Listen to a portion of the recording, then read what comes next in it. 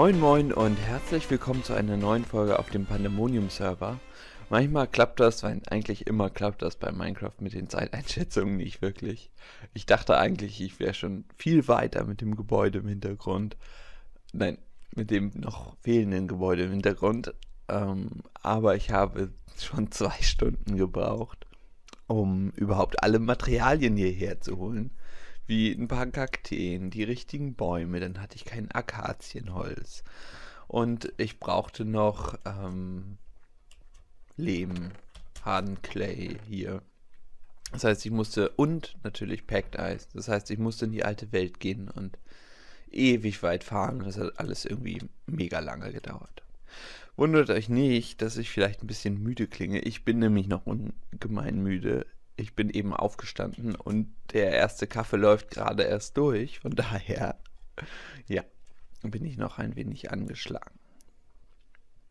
Okay. Zum Gebäude. Das, beziehungsweise zum eigentlich ganzen Start. Erst wollte ich hier nur das Gebäude hinbauen und danach was anderes machen, aber dann würde ich wahrscheinlich den ganzen Start hier nicht fertig machen. Also nicht, äh, dann würde es sehr lange dauern, bis der Start fertig ist. Hier vorne soll ein großes Gebäude, das ist sozusagen das Hauptgebäude. Dann haben wir hier eine Brücke zu den Tribünen, auf denen ich jetzt stehe. Das soll nichts Großartiges werden. Da ist der, die größte Form schon verarbeitet. Hier kommt noch irgendwo eine Treppe in der Mitte und dann wird hier irgendein Holz hinkommen, dass man sich hier hinsetzen kann und den Rennfahrern zujubeln kann. Ich könnte mir auch vorstellen, dass ich hier Villager oder sowas hin tue, die dann hier rumlaufen können. Das wäre, glaube ich, ganz cool. Ich muss nur aufpassen, dass sie halt nicht in den Kontrollraum sozusagen kommen. Wobei, das können sie ja auch, wenn ich das mit einem Button aktiviere hier vorne. Dann ist das auch egal. Mal gucken. Ich werde das alles dann im Laufe des Baus entscheiden. Ich habe jetzt nur im Moment so eine grobe Vorstellung. Und ich habe auch nur so eine grobe Vorstellung, wie alles aussehen wird. Ich habe noch nicht viel vorgebaut. Ich habe mir nur den Stil überlegt und der, ja, wer könnte es ahnen, ist Eis und Schnee, beziehungsweise halt kein, kein Holz. Doch Holz ist auch dabei. Ich meine, aber so nordisch werden die ganzen Gebäude und auch die Tribüne hier. Und als erstes fange ich mit dem an, was ich schon im Inventar habe. Ich, merk, ich merke selber, dass ich noch nicht richtig da bin. Nach, nach dem Kaffee sieht das wieder ganz anders aus. Also, als erstes will ich hier eine kleine Terrasse haben. Die wird ungefähr hier hinkommen. Und die wird ein wenig über dem ganzen Geschehen sein, denn das hier ist ja sozusagen das Verwaltungsgebäude. Das kann ein bisschen höher sein. Von da aus soll die ganze Rennstrecke, beziehungsweise soll der ganze Start überwacht werden. Von daher so, passt das hier ganz gut hin und dann kann der Knopf gleich hier oben hin dass ich weiß, wo der hin muss. Und es wird Nacht, das passt ganz gut. Dann baue ich nämlich ein bisschen weiter und zeige euch dann gleich, wie weit ich gekommen bin. Und kann dann schon mal die Grundrisse vom Haus festlegen. Da habe ich mir jetzt natürlich auch vergessen, ein Bild von dem Design, was ich mir überlegt habe, auf einem anderen Bildschirm zu legen. Von daher sehen wir uns gleich wieder, wenn ich ein wenig besser vorbereitet bin. Oh nein, oh nein, oh nein, oh nein, oh nein. Ich bin gestorben. Und zwar nur, weil dieser blöde Eisblock da oben geschmolzen ist. Oh, ich hoffe, meine Items sind noch da.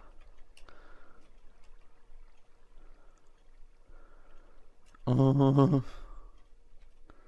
Da ist eine blöde Spinne auch noch. Oh nein. Da ist das Eis. Wo sind, wo sind die Sachen? Da ist das. Okay. Wichtig sind die Elytra. Flügel, aber eigentlich müssten die doch hier runtergewaschen sein. Hier hin? Oh nein, da komme ich nicht ran. Ah, Panik. Wie gut, dass man hier eine Holzspitzhacke hat und ich die nicht weggeworfen habe. Nein, hier sind die nicht. Oh nein. Nein. Die liegen da noch drin, klar. Ich habe mich, in, hab mich in Eis eingebaut, weil ich gedacht habe, oh, das ist das Schnellste zum Abbauen. Ja. Und anscheinend hat die Fackel hier oben. Huh, ich habe alles. Die liegt krass. anscheinend hat diese Fackel hier oben nur den oberen oder einen Eisblock geschmolzen. Und dann war ein Skelett da, was mich getötet hat. Okay. Huh. Hallo Spinne, eine unsichtbare Spinne. Die würde ich ja gern behalten. Ich habe noch nichts im See, ihr einen Namen zu geben. Dann tut mir das leid, unsichtbare Spinne. Auf Wiedersehen. Jetzt sieht man die Kartoffel nicht. Was? Doch, da unten sieht man sie. Hey, das letzte Mal. Eigentlich wollte ich jetzt den blöden Spruch bringen. Guck mal, man kann mit, mit was zu essen ins Bett gehen. Und ich bin mir ziemlich sicher, dass ich letztes Mal die Kartoffel genauer gesehen habe. Egal. Eine Sache, bevor ich zum Gebäude komme, will ich noch anmerken, die extrem wichtig ist. Ich habe hier meine Kisten sortiert. Hier sind drei Materialien drin, die in großer Menge vorkommen. Hier sind Materialien drin in großer Menge. Da kommt dann, kann dann auch sowas wie das rein. Das hier ist eine Krimskramskiste mit dem Redstone und aber allgemein wichtigen Sachen. Und das hier ist eine Kiste mit unwichtigen Sachen, wo alles reinkommt, was ich irgendwie finde. Wie. okay, so ganz funktioniert es noch nicht. Aber ich gebe mir mal die beste Mühe. Okay, String, doch, String brauche ich. Der ist okay. Den habe ich in der Schaltung benutzt. Gut, zum Gebäude. Ups. Ist jetzt noch nicht so viel passiert, aber die Grundzüge kann man schon erkennen.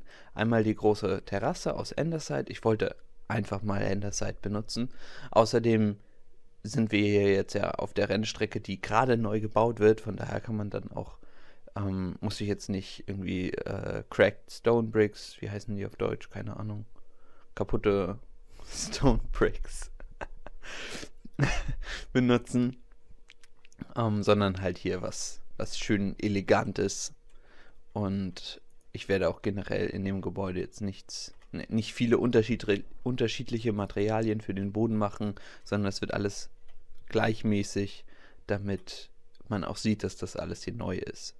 Für das Gebäude hier habe ich mir hier solche Bögen ausgesucht, die sich nachher auch im Dach widerspiegeln werden. Also das Dach wird, jetzt gehe ich mal auf die andere Seite. Das Dach wird ein wenig kurios. Ich wollte für so ein nordisches Haus so ein großes Dach bauen, habe ich auch. Aber dann hatte ich halt wieder diese riesen Dachfläche, die hier oben hinkommt. Also habe ich eine Einkerbung im Dach gemacht, die ungefähr den Bögen, die hier hinkommen, entsprechen. Das heißt, wir haben hier das große Dach, was so geht und dann geht das hier so und so. Aber das sehen wir dann nachher noch. Für die Wände nehme ich Spruce Wood. Da habe ich auch einiges ausprobiert für die Wände, aber am Ende war Spruce Wood dann doch am schönsten. Ja, jetzt ist es erstmal nur ausfüllen. Da kommen dann auch noch Fenster rein. Das wird dann sogar ein bisschen modern. Also ich möchte hier so ein Dreiecksfenster rein, so in der Art. Da kommen dann die Fenster rein. Hier vorne kommt noch ein bisschen was hin.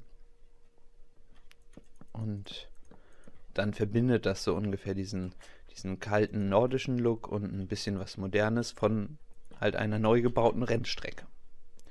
Gut, ich werde ein bisschen weiterbauen. Ich habe immer irgendwie Probleme, wenn ich nur was baue, wirklich zu, was zu finden, was ich euch zeigen kann. Weil ich jetzt irgendwie nicht über eine Schaltung reden kann und wie die ganze funktioniert. Und deswegen versuche ich immer ein bisschen mit einzubringen, was ich mir bei dem ganzen Gebäude gedacht habe, wie ich das bauen will, was ich mir vorgenommen habe und was möglicherweise nicht geklappt hat. Ich habe mich gerade verbaut, zumindest im Vergleich zu meinem vorbereiteten Gebäude. Ich habe eine Blockreihe und dadurch wird das ganze Dach anders. Aber ich finde das gar nicht schlecht, was ich durch Zufall hier gemacht habe. Also hier fehlt ein Block. Theoretisch müsste das hier alles ein Block weiter innen sein und dadurch würde das Dach ein bisschen anders aussehen. Es wären Dachblöcke nebeneinander sozusagen, sondern hier wäre noch ein, also erst ab hier wäre der zweite, die zweite Höhe.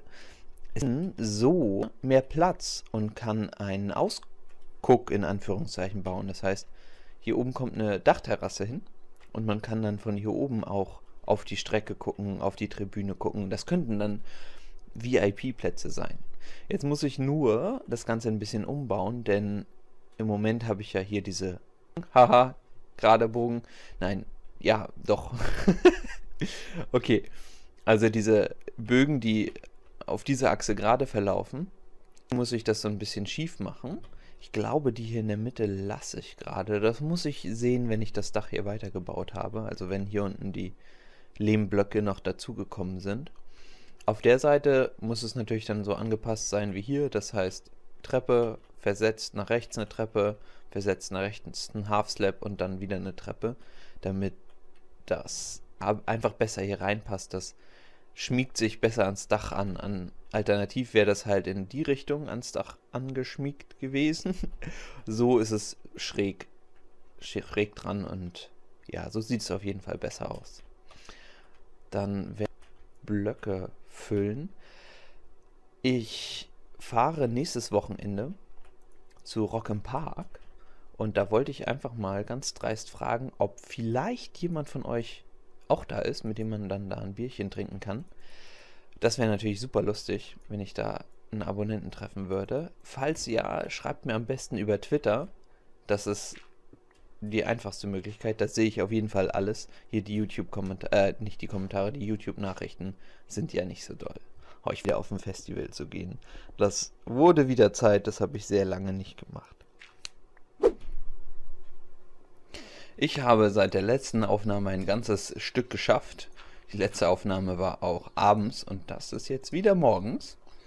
Und in der Regel nehme ich abends gar nicht mehr auf, weil ich dann zu müde bin, zu unmotiviert und dann spiele ich einfach nur noch vor mich hin. Ihr seht, das Gebäude ist fertig und die Vögel draußen nerven mich gerade ziemlich sehr. Ich hoffe, das hört ihr nicht. Das Gebäude ist fertig und wie angekündigt, es sieht halt ein bisschen anders aus. Aber das ist mir so lieber, als wenn da ein riesiges Dach wäre. Also ein riesiges Dach ist zwar schön, aber ein riesiges, ich will jetzt plain sagen, verdammt, ist Englisch. Ähm, so ein langweiliges Dach, wo das überall gleich aussieht. So, doch, also mir gefällt es sehr gut. Meiner Freundin zum Beispiel gefällt es nicht so gut. Die hat gesagt, was ist das denn für ein komisches Gebäude? Aber ja, nein, ich bin sehr zufrieden, wie das Ganze ist. Ich habe keine Enderperlen mehr, jetzt muss ich darüber laufen. Oh. Ich habe auch gemerkt, dass mein nächstes Projekt eine Minecart-Strecke hierhin sein wird, denn ich habe keinen Bock, diesen Weg noch öfter zu laufen. Und ich werde ja noch sehr viel länger an der Bahn hier sitzen, damit das alles schön und ordentlich wird. Und daher muss hier eine gute Verbindung zu meiner Basis, die da hinten ist, geschaffen werden. Ja, das ist jetzt das Dach, auf dem man ganz gut stehen kann und gucken kann. Eigentlich ja, wirklich gucken kann man dann nur zu den Zuschauern da drüben und müsste man hier hoch. Ich bin mir nicht sicher, ob in der 1.9 das behoben wurde, dass Mobs nicht auf Strings spawnen können. Also auf Redstone bin ich mir ziemlich sicher, dass das behoben wurde, aber ich weiß nicht mehr, wie das mit String ist. Und jetzt habe ich das einfach mal ausgetestet, dass ich hier String drauf tue, denn das Dach kann ich nicht hübsch beleuchten. Zumindest ist mir noch nichts eingefallen. Vielleicht Nee, nee, weiß nicht, mir fällt nichts ein, wie man dieses Dach beleuchten könnte. Ich habe jetzt erst gedacht, dass man irgendwie Lampen in das Dach tun kann und dann obendrauf Teppich, der halt eine ähnliche Farbe hat wie das Dach. Aber das würde dann... Na, die Lampe könnte hier rein. Weiß, weiß ich noch nicht. Das muss ich sehen. Ich hoffe mal, dass das hier funktioniert. Bisher ist auch noch nichts drauf gespawnt, aber bisher ist auch noch nichts ohne den String drauf gespawnt. Dann ist hier unten schon eine Brücke entstanden. Ich zeige sie mal von hier. Eine ganz einfache Holzbrücke, nichts Besonderes, aber irgendwie muss man Achso. Irgendwie muss man ja auf die andere Seite kommen. Ja, viel mehr ist da nicht zu sagen. Ich wollte jetzt nicht noch mehr Zäune als Geländer machen, deswegen habe ich hier Treppen und Half Slabs genommen und das gefällt mir ziemlich gut. Das habe ich, ich glaube, das habe ich in meiner Basis da hinten auch schon mal benutzt. Und daher kann man jetzt gut auf die andere Seite. Der Boden hier, ja, hat eine echt extrem andere Farbe. Aber ich wollte auch hier nicht das gleiche Holz wieder benutzen. Ich, könnt, ich kann mal versuchen, wie das mit Dark Oak Wood aussieht. Da habe ich noch ein paar.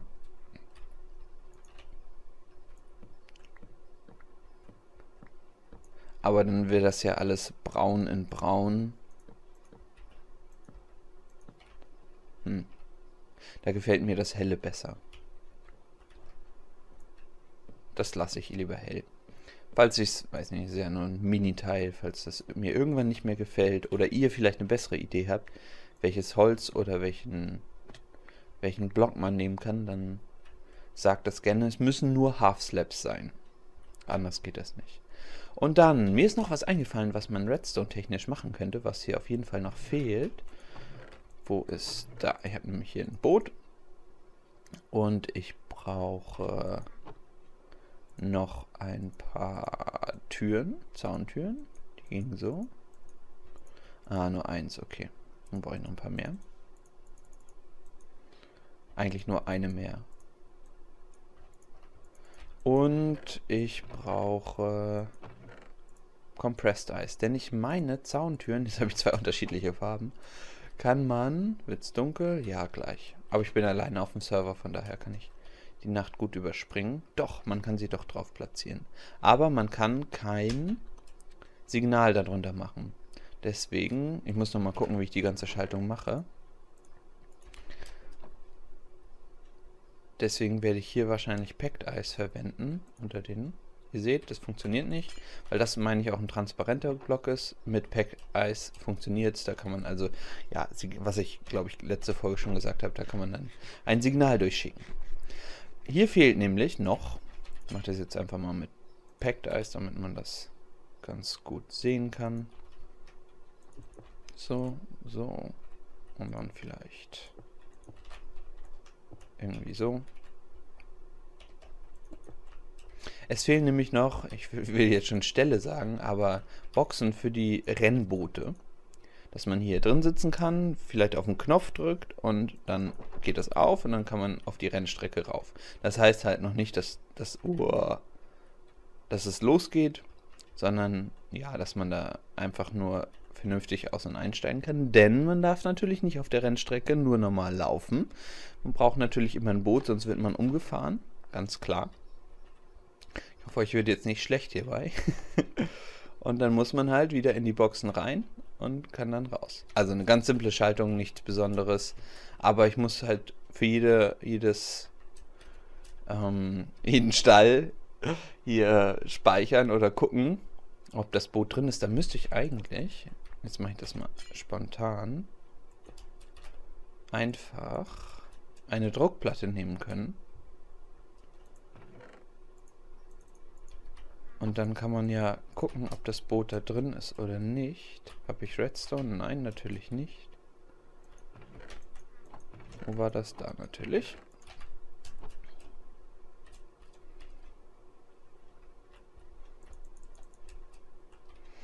Hm, so, Druckplatte drauf und Boot drauf.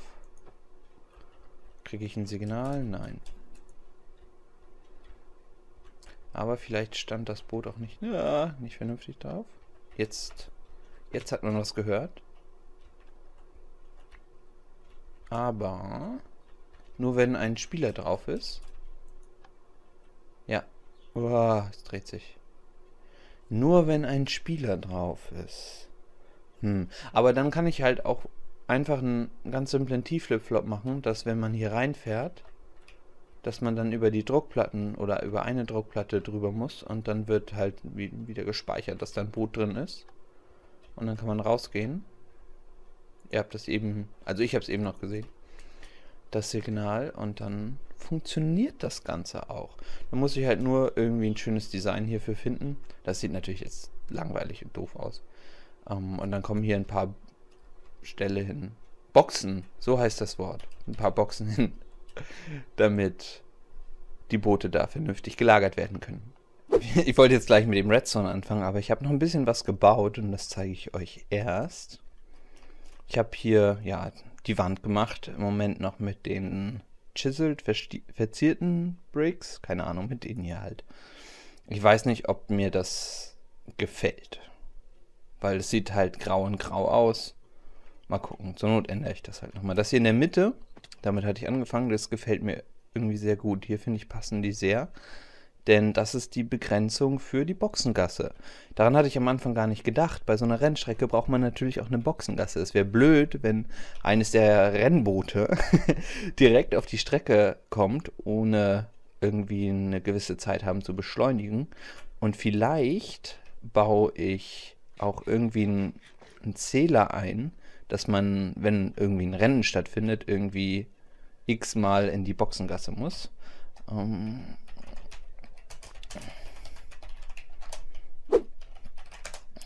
Okay, ich habe jetzt schnell die Nacht übersprungen, beziehungsweise, ja, wir. Und jetzt kommen wir zum Redstone. Ich habe mir gedacht, ich möchte diese Boxen so klein wie möglich machen. Ja, Punkt. ja, ich will sie nicht groß machen. Denn gar nichts, denn Einmal hier rum. So, und da vorne kommen dann die beiden Zauntore rein.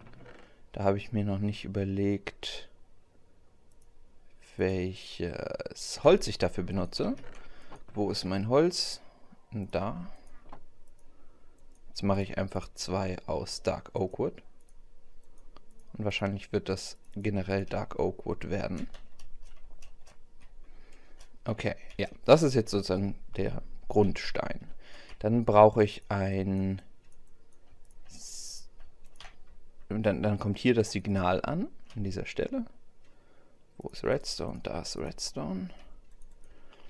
Und dieses Signal wird dann, wer hätte es geahnt, in einen T-Flip-Flop geleitet. Ich brauche hier einen Repeater, damit das funktioniert und sich richtig verbindet. Und an dieser Stelle natürlich auch ein Repeater.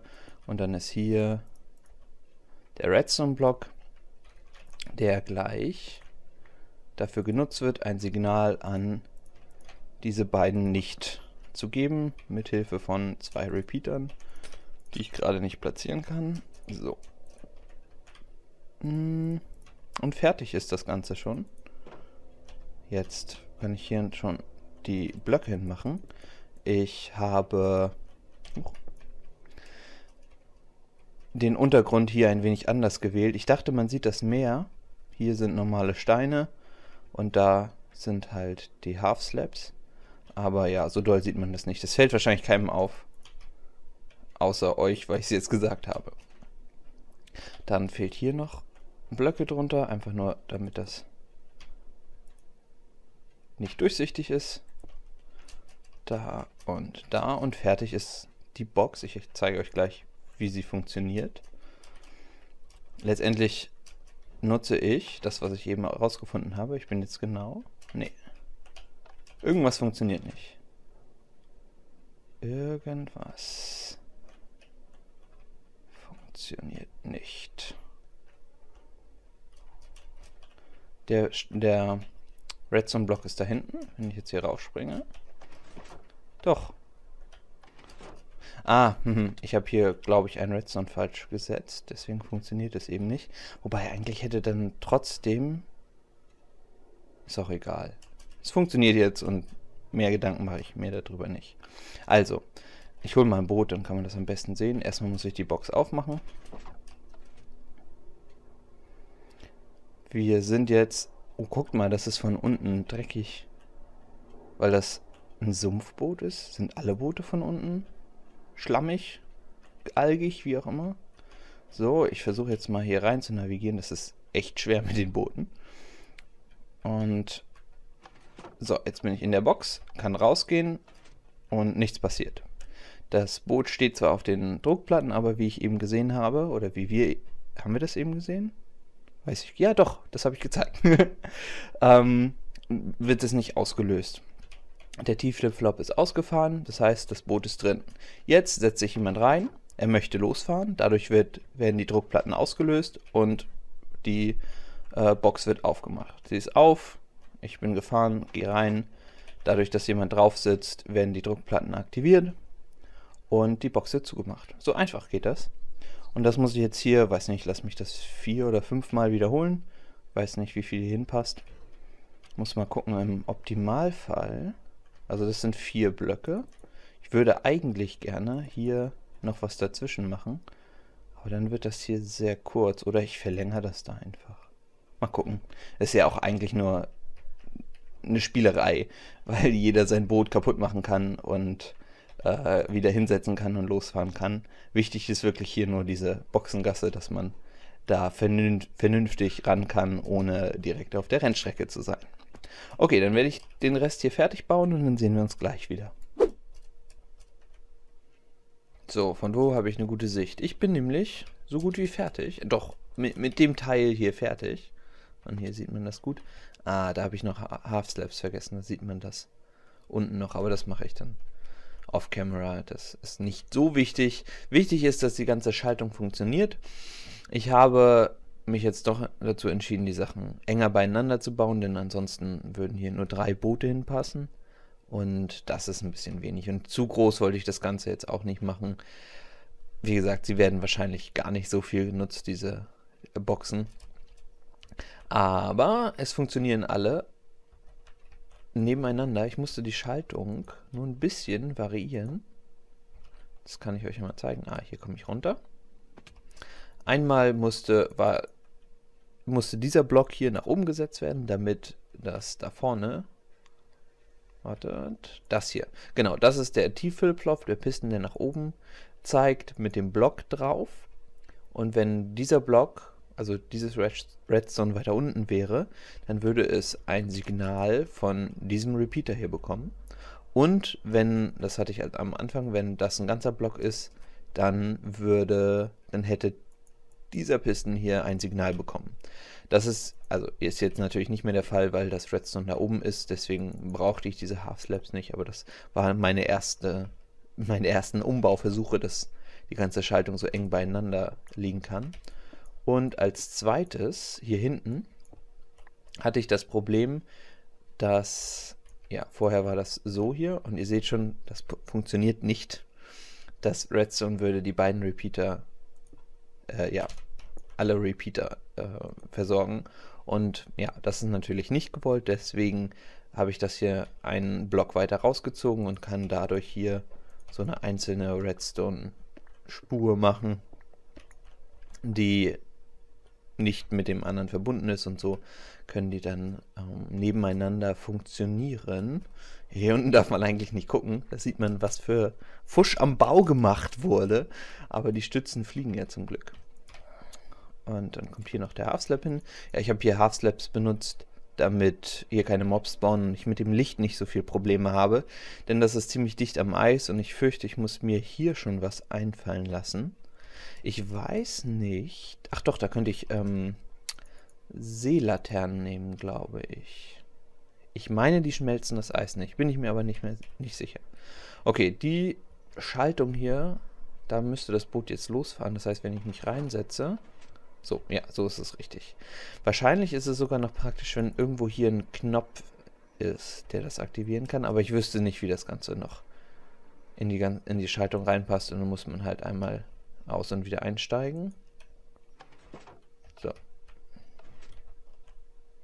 Ja, ich hatte erst gedacht, dass die beiden Druckplatten da hinten reichen, aber so wie es aussieht, funktioniert das manchmal nicht. Auch das finde ich jetzt nicht allzu dramatisch. Wo ist das normale Eis? Hier drunter ist das normale Eis. Und nee, ich fürchte, das kann ich, müsste ich das hier hinten alles nochmal umbauen. Ich glaube, das ist auch gar nicht so dramatisch. Also ich könnte jetzt hier natürlich noch ein bisschen Redstone hinmachen. also das hier auf eine Ebene bringen, da Redstone hinmachen.